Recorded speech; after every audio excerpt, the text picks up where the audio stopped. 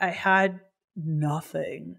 And that just had me consistently giving it off to God. Like I I am completely ineffective at this. Like I'm in a foreign place. I totally did this to myself. I didn't think this through.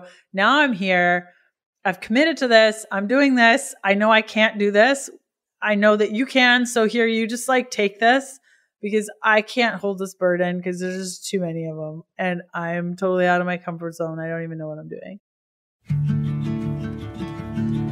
Hey, my name is Leanne, and I'm fascinated with helping women navigate how to eat, move, and care for their bodies. This has taken me on a journey from vegan, keto, high protein to everything in between. I'm a small town holistic nutritionist turned three time international bestselling author turned functional medicine practitioner, offering telemedicine services around the globe to women looking to better their health and stop second guessing themselves. I'm here to teach you how to wade through the wellness noise to get to the good stuff that'll help you achieve your goals. Whether you're seeking relief from chronic ailments, striving for peak performance, or simply eager to live a more vibrant life, this podcast is your go to resource for actionable advice and inspiration. Together, we'll uncover the interconnectedness of nutrition, movement, sleep, stress management, and mindset, empowering you to make informed choices that support your unique health journey. Think of it as quality time with your bestie mixed with a little med school so you're empowered at your next doctor visit. Get ready to be challenged and encouraged while you learn about your body and how to care for it healthfully. Join me as we embrace vitality, reclaim our innate potential, and discover what it truly means to pursue healthfulness.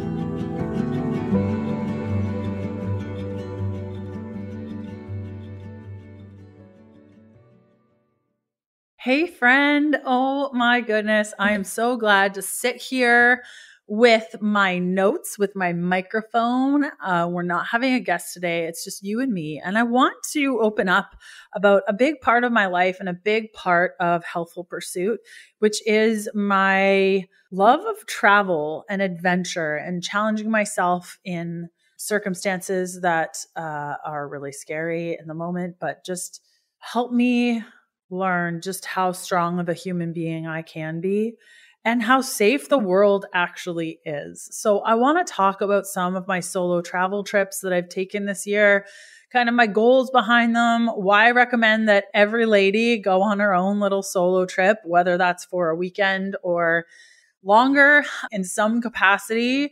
And even like heck, if you have little ones at home, it might not be that you can take away for a long period of time, but even an afternoon can be quite an adventure without anyone around. So I'll give you a little bit of backstory. I'm not new to the solo travel idea.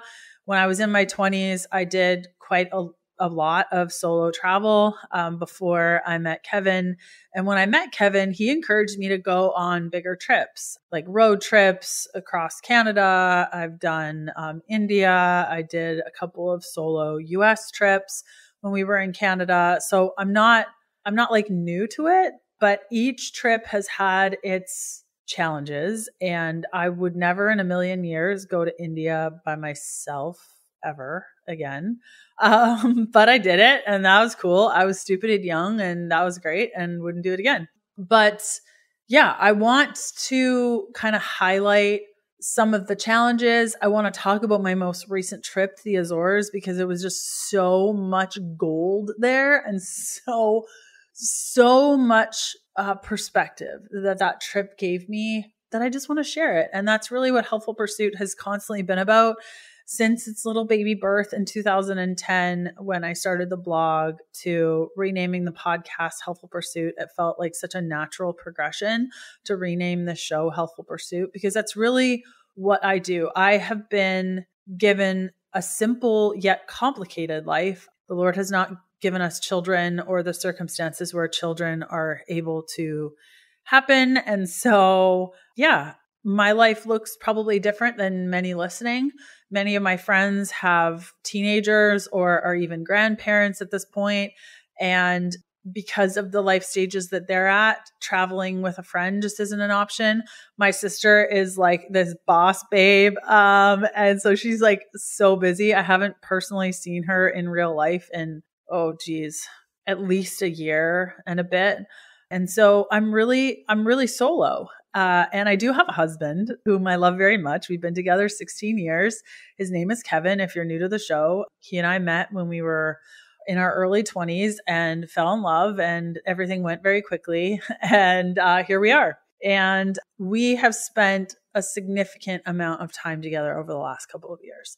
When Kevin and I met, we were working at the same company together. And when he would go to Europe, I would be in Canada. And when he would be in Canada, I would be in Europe. And we kind of like tag team for years back and forth with our job. And so we started our relationship being quite separate, but being very close and getting very good at the time it was Skype and we Skyped all the time and we were very good at, at, staying in touch with one another when we were on opposite sides of the world.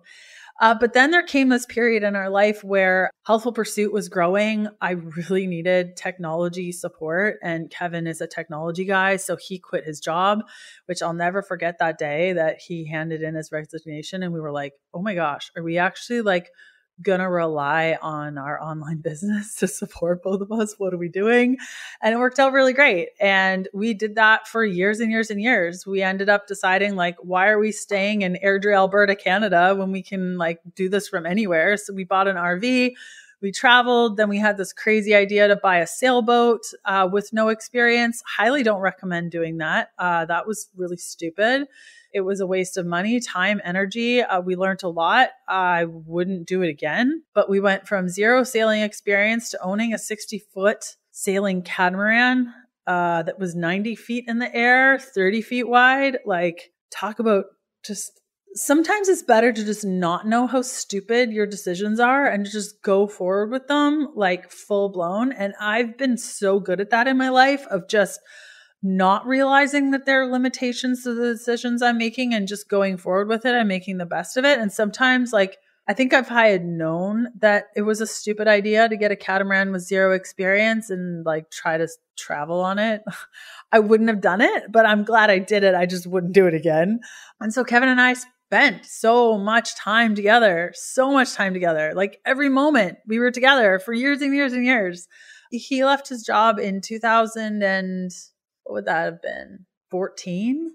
So, I mean, almost 10 years together every day without fail. And then he decided he wanted to be a pilot, just kind of like out of nowhere, decided, I, I want to see where this could go. You know, he's in his mid 40s and he was like, now or never, let's try it. And he's really good at it. And he, he got a really good job fresh out of school flying a jet and just like amazing. So we owned a different boat at the time, put the boat on the hard, which basically means you put the boat like on concrete. And we just needed some time to figure things out. We ended up listing the boat for sale. Uh, we found a buyer. The sale fell through. Now the boat's sitting. We're kind of just frozen. Nothing's really moving on that front. If you remember to pray for us, that would be awesome.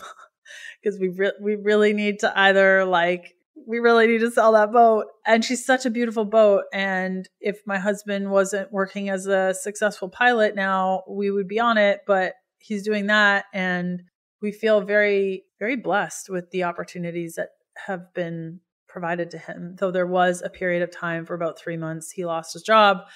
He wasn't getting any bites. We were like, what are we doing? We just. Uh, We threw all resources into this flying stuff, what's happening, but now he has an amazing job that he loves. And so we're just so thankful for that. But if you know any pilots or any pilot wives, or you are a pilot wife yourself, you know that there is a lot of time where you're by yourself. I'm on day, what is it now? 22 of not seeing my husband. After 30 days of not seeing my husband, I saw him for like four days and then he left again and so there's a lot of solo time. And you might be with six kids at home, like husband is gone, you're in the thick of things. You're just like, Leanne, do not complain about your solo time. That sounds amazing. And I'm not complaining. I feel very thankful for my simple yet complicated life. And I know that I am being sanctified through this solo time and it gives me a ton of time to work, a ton, ton of time to reflect, a ton of time to give into other people's lives and learn what it's like to die to self. Because, like, let me tell you, after a day of caring for my clients and recording podcasts and just giving so much of myself, to others to then have a community of people that I know personally and giving myself to that community, it is an ongoing struggle for me. An ongoing struggle because the last thing I want to do is give more. To be honest, like that is not my default after a crazy day of giving that I continue to give. And so I know that uh, God gives us certain circumstances to work through those those areas that we're sticky in, and I have no doubt that the order of events that have occurred over the last like three months were orchestrated by God. It has been absolute chaos to I had booked a trip to the Azores probably like nine months ago. Kevin was working. I have always wanted to go to the Azores. He was like, I can't get any time off. So, like, you go, you go enjoy. And then I booked everything. Everything was paid for. He lost his job. And I'm like, oh my goodness, I can't even get this money back. I guess I'm going. So, I actually went to the Azores while Kevin didn't have a job. He was trying to find jobs, going for interviews, all the things while I was traveling around. And the day I got back from my trip, he got a job and left. And so there's just been a lot of back and forth and change and all the things. And I enjoy eating well. I enjoy moving my body. I enjoy thinking about my internal thought life and giving and all those pieces to a healthful life. And a big part of this is seeing my comforts as they are. And the solo travel has definitely pushed me in areas I didn't think I needed pushing in. So earlier in 2024, I was turning 38 and I wanted to go on a little trip and there was a seat sale going to Rome and I was like, yeah, that sounds great. I I never really looked into going to Rome. I really had no like desire to go to Italy. My sister had said that she really loved it because we're both um, gluten free, and she was like, "The food there is insane. You should definitely go." And I was like, "Yeah, sure." So I booked the flight. I went. It was ten days. I almost didn't get on the plane because I was so I was so nervous to go. I wouldn't say like terrified necessarily, but it was more just like I didn't want to go because my life had been going so well. My training was good. My food was dialed in. I just, you know, I didn't want to change my routine, to be honest. I was just very happy being at home and having my routine. And I was really upset when I got to the airport. I was crying. I called my sister and I was like, I can't do this. 10 days, it's going to totally throw everything off it's going to be such a challenge and like i just i just i don't i don't want to do this and she talked me into going i'm so glad that she did because when i got back i was like this was awesome. I really enjoyed this. I went to rome for a couple days. I went to sorrento for a couple days took a day trip to capri hiked the path of the gods in the amalfi coast spent a day in florence went back to rome ate so many things I continued with my training schedule, though it is very different when you're in Europe. And when I got back, I was like, wow, that was challenging. It definitely proved that I can travel by myself, even though I'd been on so many, like, I went to India for months by myself in my 20s and it was fine, but I was scared for sure. But it's funny, like, how quickly we just get tied into our routine that it's just scary to not do that routine every day.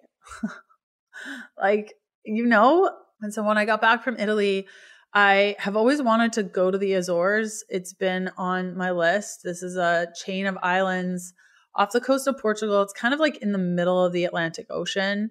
I did so much research and I decided on a couple of the Azores islands that I wanted to check out. So I started doing research on like flights and how I was going to make all that happen. It is very expensive to fly into the Azores. Like a return ticket I was looking at was like $3,000 and I was like, uh no. If you're looking for a snack that's healthy, convenient, and packed with flavor, you've got to try Paleo Valley 100% grass fed beef sticks.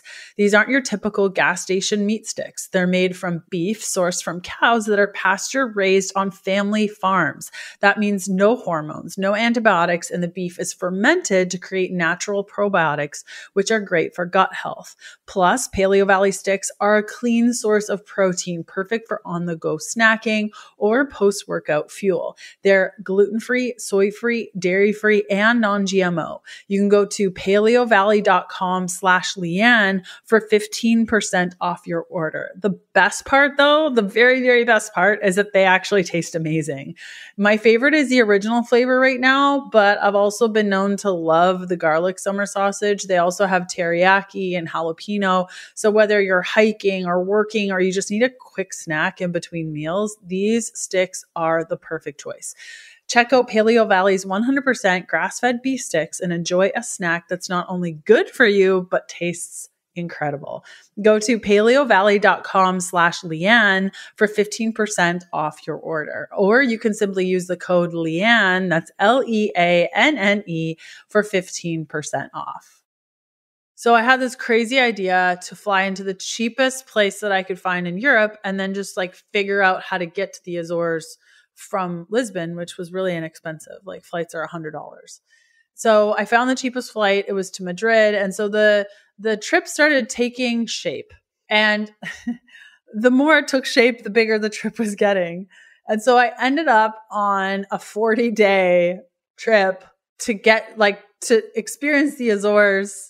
But there was like extra days in this place and that place as I was making my way to the Azores. And then I found out that Madeira was nearby, uh, which isn't considered Azores. And so I added that to the trip. So it just became this like epic trip, which was such a great timing, even though at the end of the day, like Kevin didn't have a job. And I was like, well, come with me. And he's like, no, I need to stay here. I need to apply for jobs.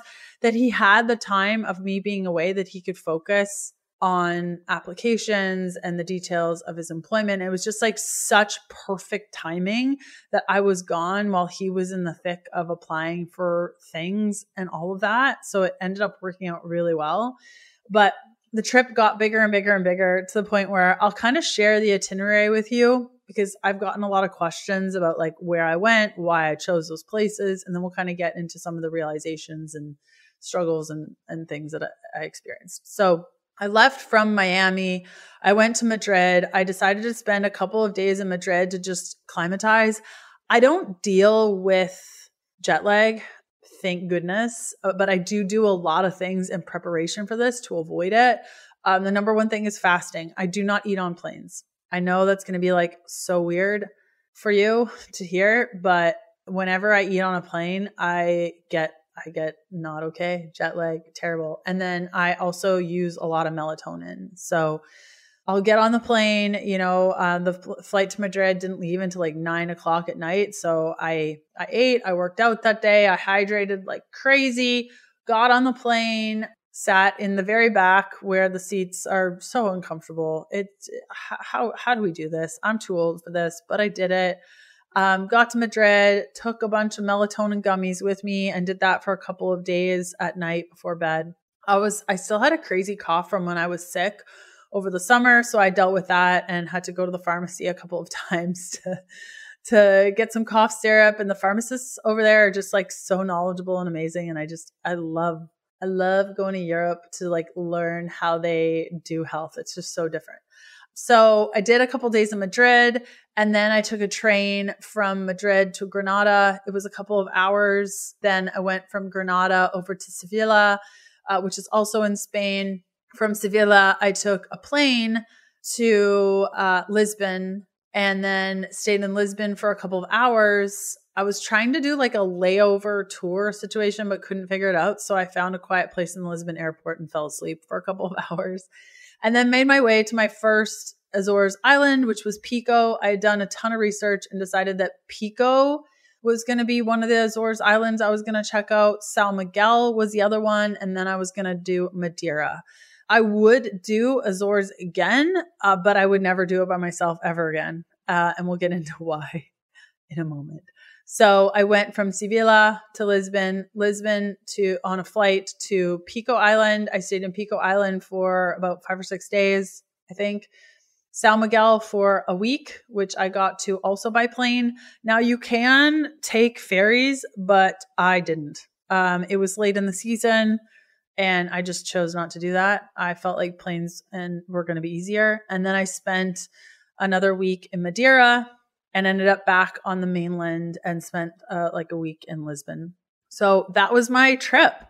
And I love the way I planned it. I used ChatGPT actually a lot to plan the details of how do I get from here to here, what things should I check out, what's important. Like, oh my goodness, ChatGPT like planned this trip and it was fantastic. Highly recommend.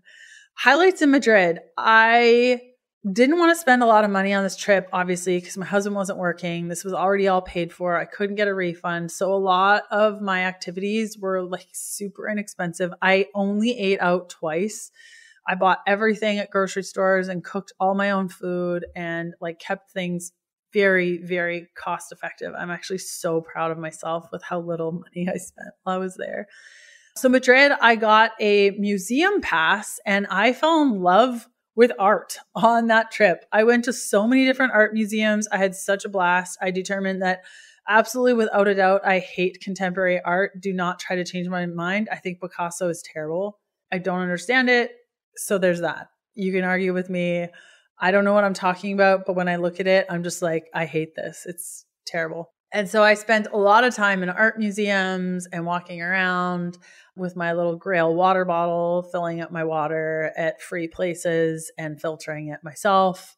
I went to grocery stores for lunch and grabbed like gluten free crackers and meats and sat in the grass and ate them.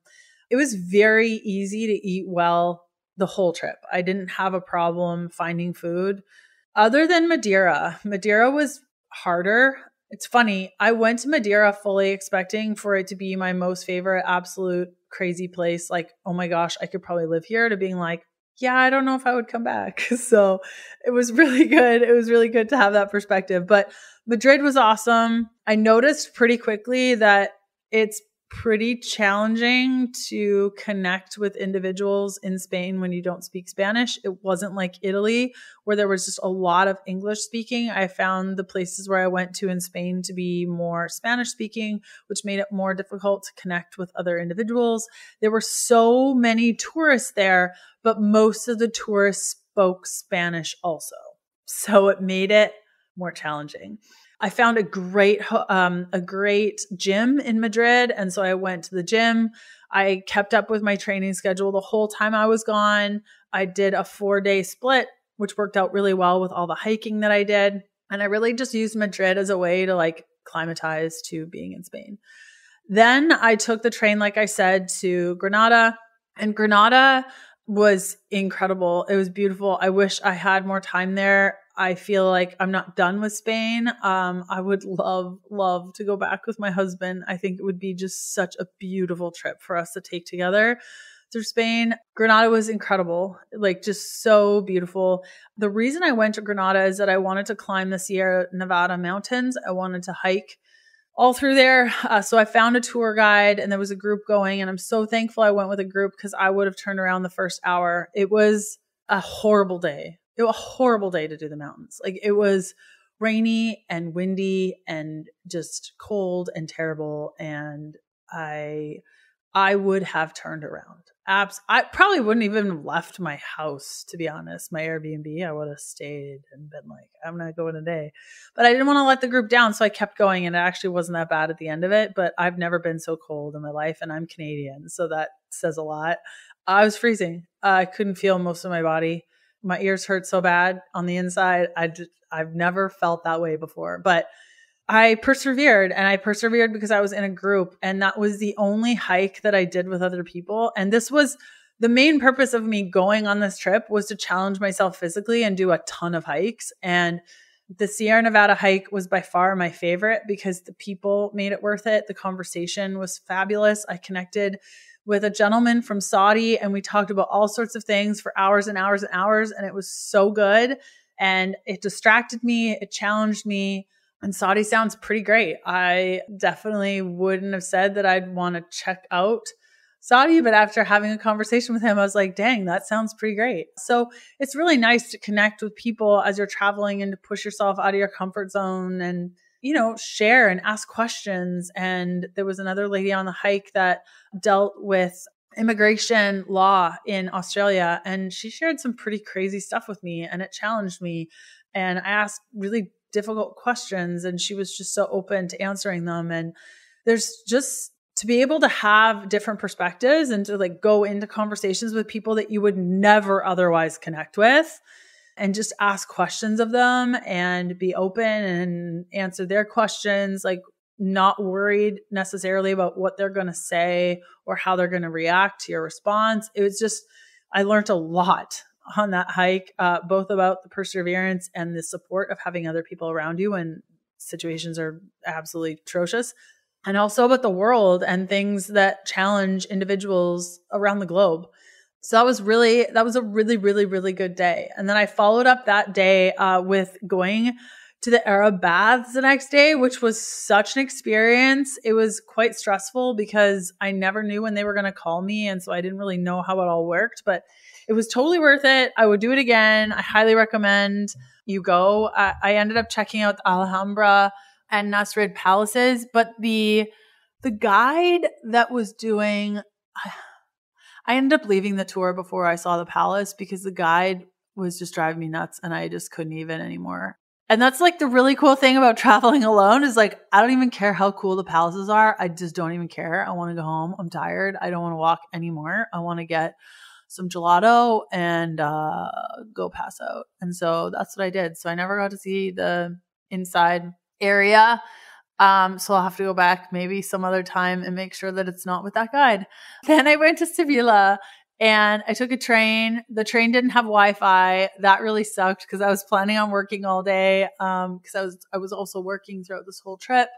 And that was awesome. I connected with a family from Germany and we just, you know, talked about their life. And uh, again, I asked I enjoy asking so many questions, just learn about people and learn about their struggles and, you know, what's on their mind and, you know, just all that stuff. It's just so fascinating to me and helps me kind of get a different perspective of what's going on in my life and what my priorities are.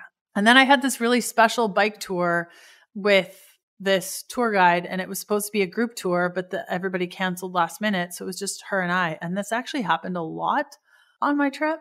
Usually I use Viator to book little trips uh, for the day. I enjoy kind of connecting with other people.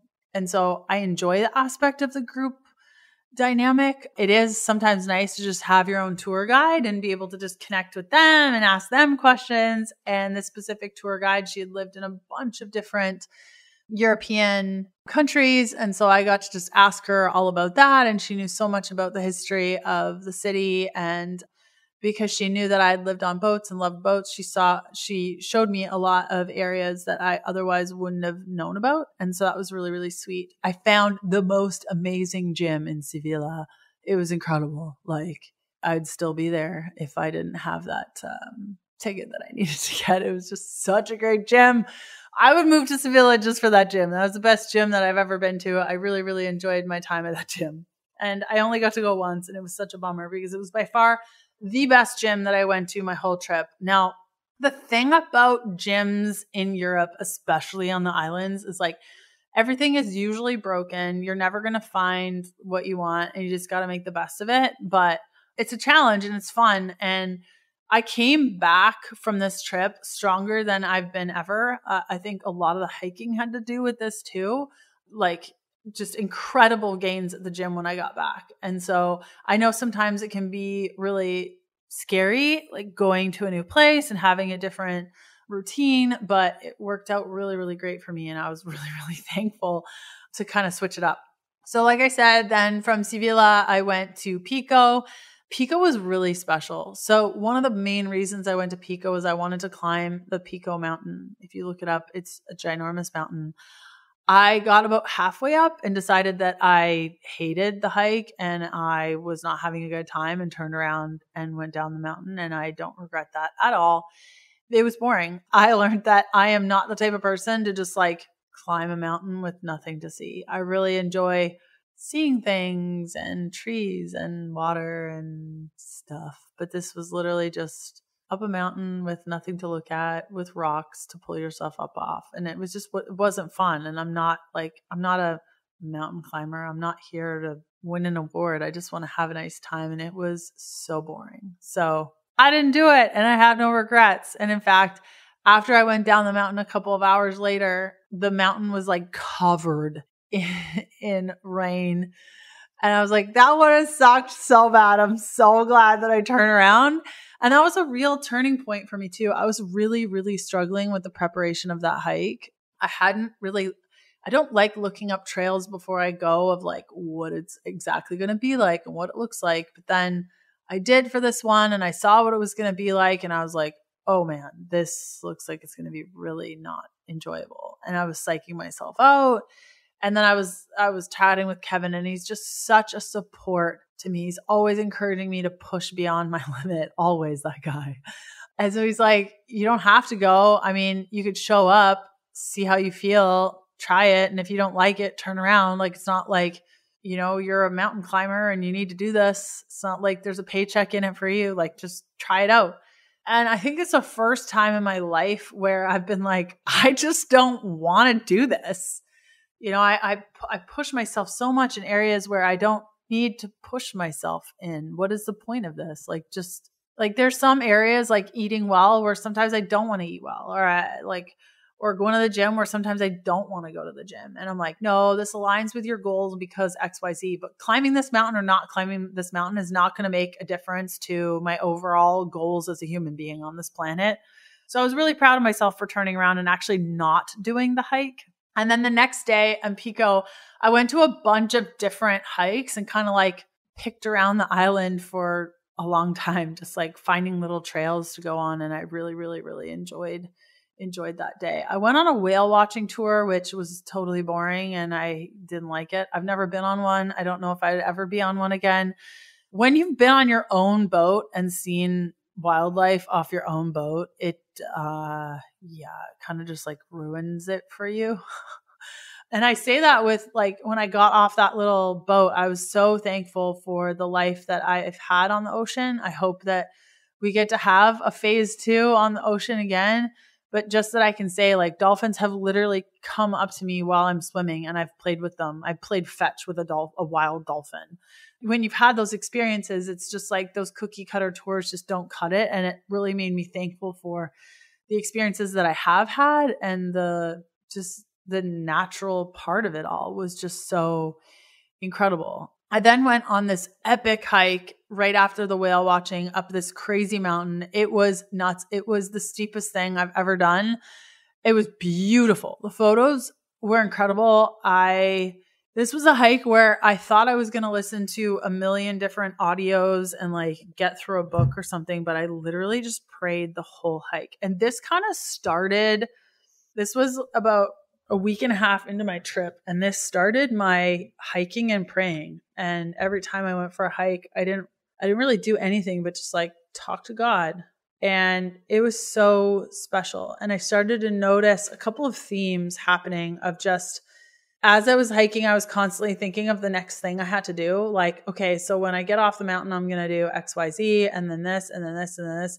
And i just realized how often my nervous system is just in total overwhelm over the next thing that I have to do and how much I lack presence in my day to day and how full I make my schedule for the next thing, the next thing, the next thing. And it, when I started to touch on that on my trip, I noticed just how much anxiety I had over doing the next thing and thinking of the next thing that was just like so natural to me that I, it was a significant amount of anxiety I carry on a daily basis of, okay, you know, even as I'm doing this podcast, I'm thinking, okay, so then I'll be finished this podcast. I have two hours before my next client. I'm going to make myself some lunch. I'm going to sit out in the sun. Like I can't just be present. That was one big theme that just like carried out throughout the trip. Another really, really big theme and started to really take root on this first trip to Pico Island um, was I had to rent a car to like get around. And I guess I didn't like think about I didn't like think about that ahead of time because like these roads are very very narrow. You're in Europe driving uh, by yourself, a standard vehicle, which I I learned on stick. It's not a matter of like I can or can't do it, but I learned in Alberta where we like we don't have a lot of hills or mountains, um, and these roads were very steep, like crazy steep. Um, and there was just a lot of anxiety around where I was going to find a parking spot, if I was going to be able to see because my hikes were I was getting up at like 4:30, 5 a.m., getting to the trail, having my first meal, starting the trail and like finishing around 4 p.m. So I had like all day to hike and I wasn't worried about getting home too late or in the dark or whatever. So I was driving in the dark in the mornings and I just had a lot of anxiety and worry about the car situation. And every single moment I had those worries because I was so out of my comfort. Like I didn't, I, I had very little comforts. I didn't have people. I didn't have just my day to day practice. You know, I, I had nothing. And that just had me consistently giving it off to God. Like I I am completely ineffective at this. Like, I'm in a foreign place. I totally did this to myself. I didn't think this through. Now I'm here. I've committed to this. I'm doing this. I know I can't do this. I know that you can. So here, you just like take this because I can't hold this burden because there's just too many of them. And I'm totally out of my comfort zone. I don't even know what I'm doing. And this like muscle was used over and over and over, this faith muscle. And I was like, working it. And when I got home, I felt not only like physically stronger from all the hiking because I hiked like 120 kilometers or something ridiculous, but also just spiritually stronger in my faith. And I spent just a lot of time mulling through so much, like so much. The hiking was just my favorite my favorite part, but also the loneliest part, but also the most communicable part when it came to spending time with God. So that really started in Pico and continued throughout the rest of my trip. Now, when I got to San Miguel, this is a bigger island, more people, more like the roads were wider, but they were really busy and there was lots going on and lots of signs. And so there were more challenges on that front of just like making sure that I was in the right place and not going down one way, the wrong way, which I never did. Thank God. I ended up staying downtown and the parking was very, very far away. It was like a 15 or 20 minute walk to the, to the apartment. So it was just a lot of like coordination and just again, out of my comfort. Like what I want is my home, my car out front, my groceries that get delivered. I go to the gym, I come home, I work, I, you know, see my friend, I go home, I make dinner, I, you know, easy, ease. And I don't think of my day to day life as easy, but when you're in a foreign place with like a language that's not your own, with a car that's parked far away in a place that you don't know, there's nobody to really support or help. Eh, yeah, you're kind of like, you know, solo, which was so good for me. So when I got to San Miguel, um, there's this epic hike that I wanted to check out first because it sounded like I'm not sure I want to do it. So I actually rented a quad and did the hike with a quad and decided there's no way that I want to hike this. But it was so cool. It went around the rim of two volcanoes, which was incredible. It was beautiful. I learned how to drive a quad, which felt very much like a land dinghy um, which was just so fun. I did a day in Furnas, uh, which is like natural hot springs. The Azores is very in love with natural pools, hot pools. I was in the ocean multiple times a day, either through a natural pool where basically they have these like natural rocks that are around beaches that create just this environment that's like a pool, but it's ocean water. I was in the water so much, like so, so, so much. I was constantly wearing my bathing suit. Um, I carried my bathing suit everywhere because I hiked primarily in my hiking sandals. I had those for the water, which was so great because Azores rocks are the slipperiest in the world and you cannot go in with your bare feet. Like I am surprised I didn't break my head open on some of those some of those natural pools because you got to you got to be on top of it. And that's another thing is like right now I'm physically capable and there was one of the most challenging hikes that I went on. It was in Madeira and it was ridiculous. And I remember walking down, eating my little Haribo candy because I needed more glucose in my body, thinking like, there may come a point where I won't be able to use these legs as I'm doing it now. And like, how amazing is it that I get to do this stuff while I physically can?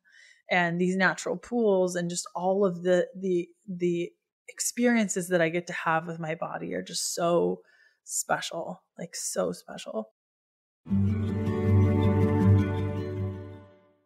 Here's a startling fact 60% of American adults live with at least one chronic illness, and 40% have two or more. Regular blood tests are vital for managing these conditions, but traditional reports often leave you confused. That's where SiPhox Health steps in.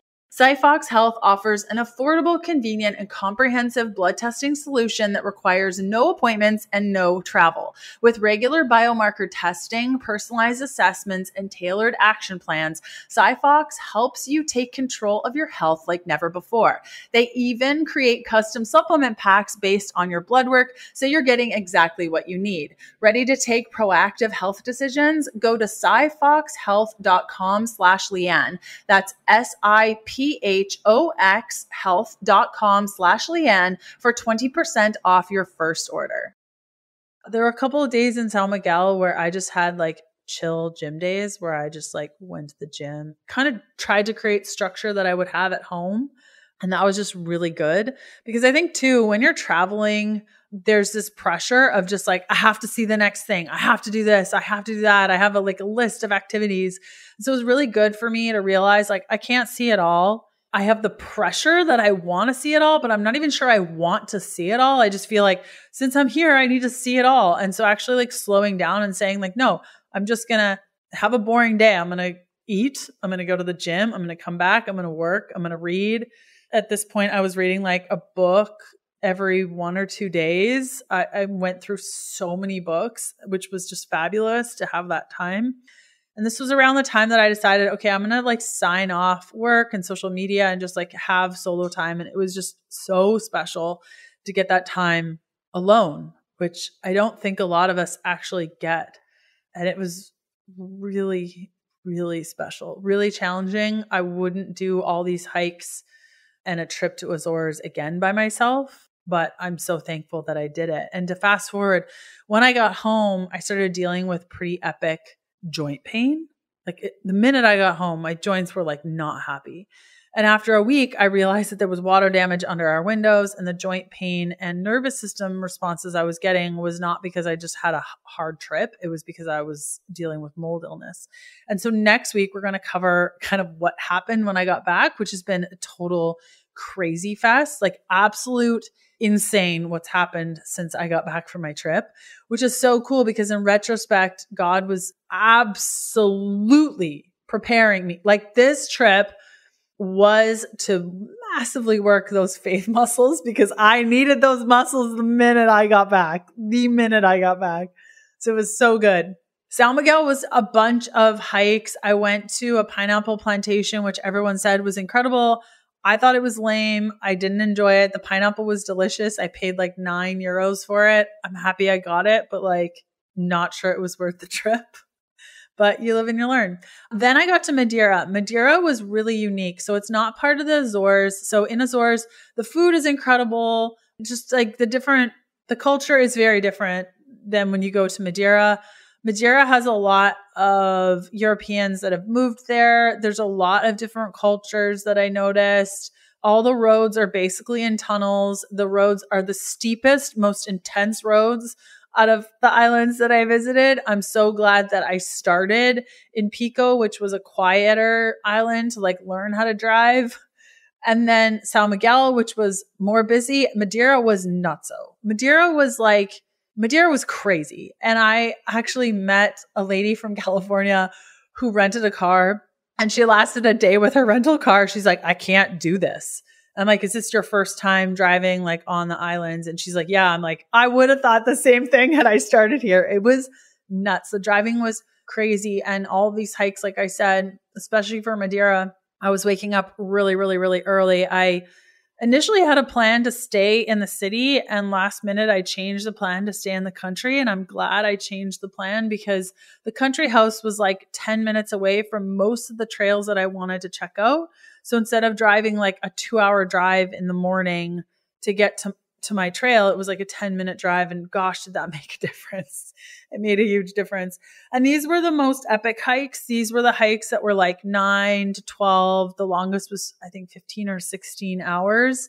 And so it was nice to be that close that when I was done, it was a pretty short drive back home. Madeira, a couple of weeks before my trip, had had some pretty crazy wildfires. So the actual hike that started this whole trip, this whole idea, was actually closed. So when I got to Madeira, I couldn't even do the hike that kind of started the whole plan to go to Azores and do the islands. Um, but like I said, Madeira is not part of Azores. Um, it's close. I think the flight was like an hour and a half or something um, from San Miguel. But I would say it was worth it. I just, like I said, doing these islands by yourself a lot of people only speak Portuguese. And so it was just very isolating. And many of the tours were older people. There weren't many younger people. Like I didn't see any real younger people. And uh, Madeira was a lot of cruisers, which kind of like takes away from the experience and just reiterates the fact that like for cruises, it's so hard to get a flavor of where you're staying because it's such a short trip and it just made me really thankful that I got more time in the areas that I did. When traveling through Azores and these islands, the because you're in the Atlantic, the weather changes quite often. I was really lucky in that it was pretty consistent and I just everyone says like you need to check you know the travel or the the weather reports and there are cameras all over the islands you need to check in and blah blah blah I didn't bother with that. I just couldn't even. There was just so much stimulus like without all that that I just decided, no, I'm not doing that. I'm not doing it. So I didn't do it. It was great. Worked fine. Whatever. And yeah, so I did I did travel or I did hike on days where it probably wasn't like ideal to hike, but I just couldn't I knew my limits and I knew that if I was also caring that much about weather and all the things, it would just like absolutely overwhelmed me. So I just decided not. And I'm so glad I made that decision. And that has translated also to when I came back, kind of dealing with the mold stuff. I realized, you know, people would say, well, what are you doing next? And what's happening? I'm like, I have no idea. I know that today this is happening. And my mom was like, but where are you staying tonight? I'm like, I don't know. Uh, come nighttime, I'll know where I'm staying. I, right now, it's just not, it's not a thing that I'm thinking of. I haven't even thought about it and I will think about it before I need to sleep. And so, like I said, just this training my faith and just knowing what my limits were was just really nice. Madeira was a lot of no, actually, I don't want to do that, and a lot of hiking. I went to Funchal for the day, which was fine. I stayed there for a couple hours and was like, nah, this is lame. I'm I'm going back to my place and just reading my book. It was a lot more solo. By the time I got to Lisbon, I was I was so relieved to be back on the mainland. And I realized that I'm not sure that I would do a European trip like that again. I was so thankful to be in a busy city. and I toured Lisbon and I got stuck in a rally that kind of like popped up out of nowhere which was so fascinating to ask ask the locals like what was going on politically and why they were protesting certain things and that was like super fun and that was kind of like the trip. It was incredible. I would highly recommend anyone, like I said, go on some sort of solo adventure, getting out of your comfort zone, or even an adventure with your family where you're out of your comfort zone. Definitely taught me like where, like a lot to do with anxiety, where I hold anxiety, where I hold expectations that are just like stupid. Like, why am I holding on to this? It literally means nothing to the course of my life. I don't know why this is so important to me. And that has just, yeah, carried with me through these next couple um, weeks that I had when I got home. So I hope something in there that I shared was helpful. Many of you have asked like how my trip went and what happened and food wise it was great. Like I was eating a substantial amount of carbohydrates because I was hiking all the time. It was hard to get that amount of fuel in, but I came back like stronger and more determined and also just like in love with hiking to the point where I've always, always, always wanted to do Patagonia. Um, it's been on my list for quite some time. Uh, the O Trek specifically, I was thinking about doing it solo. It's always kind of been in the back of my mind. But after this trip, kind of doing it all by myself hiking, I was like, no way I will ever do a trek by myself. No, thank you. I need people. I need that challenge, the motivation, the conversation. So I booked uh, Patagonia O Trek for March with a group, which I'm really excited about to be around people. And that's going to be a challenge in and of itself physically. There is hiking, it's every day, there's no rest. So I'm going to start training for this in December. And I'm just so glad that I get to use my body in this way and that it's showing up for me because years and years and years ago, I could not have done this. Like, there's no way. I remember on some of those hikes in the Azores, I was thinking, like, there's no, there's no stinking way that my body could have done this a couple of years ago. And now look, yeah, it's hard, but it can do it. And so I'm excited to challenge myself with the O Trek. So we'll kind of see where this goes. Uh, it's fun. It's a it's a new chapter for Kevin and I as he works on his piloting stuff and flying and, and where I fit into all of that and how we fit together. It's such a fun season of life, learning how to support one another in a different way. And that's what's so, so beautiful about marriage that we don't stay the same and we get to support each other and challenge each other in new ways. So I hope that you enjoy the rest of your day. And we will chat next week about the whole mold situation. And then we'll go back to regular programming with some guests that we have planned. Okay, we'll chat then. Bye. Thanks for listening to the Healthful Pursuit podcast. Join us next Tuesday for another episode of the show. If you're looking for free resources, there are a couple of places you can go. The first to my blog, healthfulpursuit.com, where you're going to find loads of recipes the second is a free parasite protocol that I've put together for you that outlines symptoms, testing, and resources to determine whether or not you have a parasite, plus a full protocol to follow to eradicate them from your life if you need to. That's available at healthfulpursuit.com slash parasites.